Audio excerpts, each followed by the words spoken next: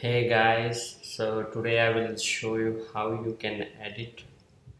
You can retouch your just it's a basic retouching so just keep in mind. So I will show you how you can retouch your images from your DSLR so I will pick this image.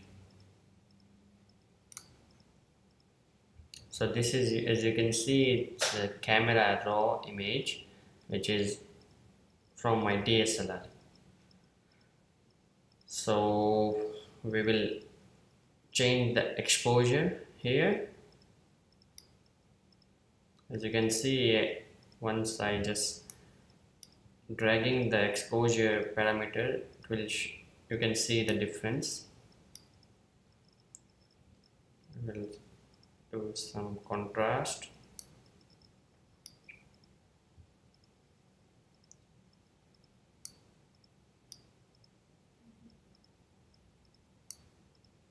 so I don't want to do too much so otherwise it will be look grainy or something.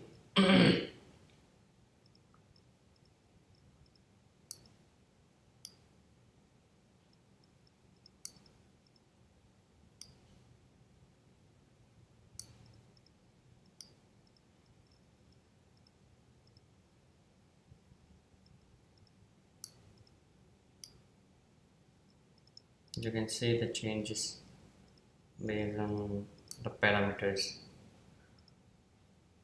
So this is very basic retouching I'm doing.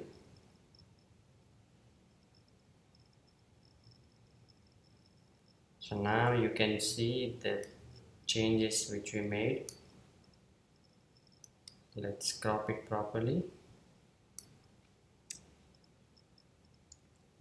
So you can see the final output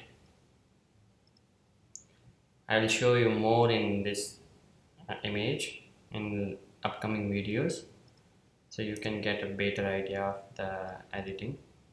We will change the in next video we will I'll show you the much more advanced editing in this image. But this is very basic from basic just uh, basic parameter I change based on the camera raw file. If you like my videos then you can like or subscribe and thank you guys. Peace.